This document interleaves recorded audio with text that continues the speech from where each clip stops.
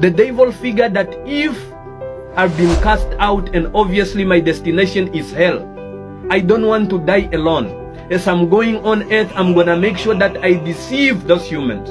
I will be like a God to them. So when the devil came here on earth, because he knows that his time is short, and he made himself a promise or a promise to God that he was gonna be like the Most High, he decided to create different religions. That's why you hear or you see today even the Christian religion itself is divided into different sectors that do not agree upon one thing. The Bible says there is only one God, one Lord, one mediator between men and God, one spirit, one baptism. But you will find people and churches within the Christian community that do not agree with that. Different Bibles have been created. Hallelujah. The devil is a master manipulator. The devil is full of devices, full of tricks, full of traps. The devil is the master of division. So if you are not sober, if you are not thinking biblically, you're gonna be deceived.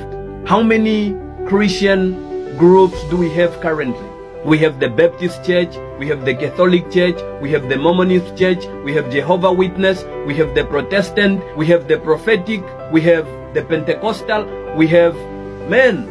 There is so many names or so many religious groups right now within the very Christian community that you will get tired of naming. Everybody wants to separate themselves, you know, somehow to make it seem like they are more special than the rest of the groups.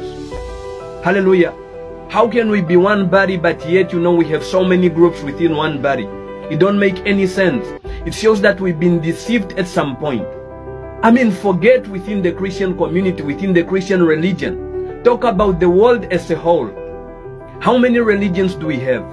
How many religions do we have? How many religions do we have?